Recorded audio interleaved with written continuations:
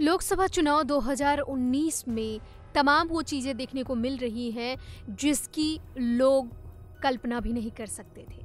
और अब ये चुनाव अपने अंतिम चरण में पहुँच चुका है।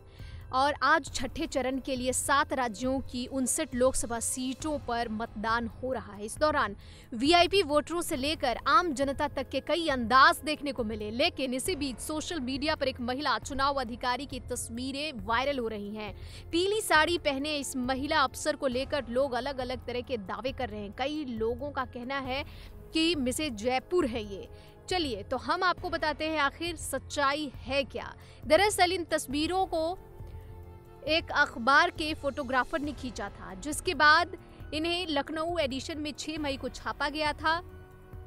ये फ़ोटो 5 मई को उस वक्त खींची गई थी, जब पोलिंग पार्टियाँ वीवीपैट और ईवीएम मशीनें लेकर रवाना हो रही थी।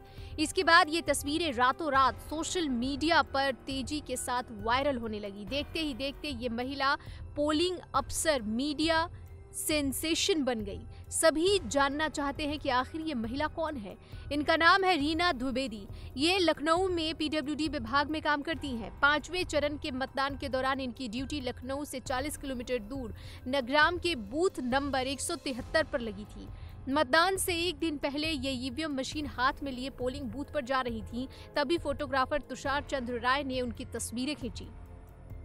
आपको बता दें कि तमाम दावों के बीच ये भी कहा जा रहा था कि जिस पोलिंग बूथ पर रीना की ड्यूटी लगी थी, वहाँ 100 प्रतिशत मतदान हुआ था। हालाँकि ऐसा कुछ नहीं हुआ, इस बूथ पर 70 प्रतिशत मतदान हुआ था।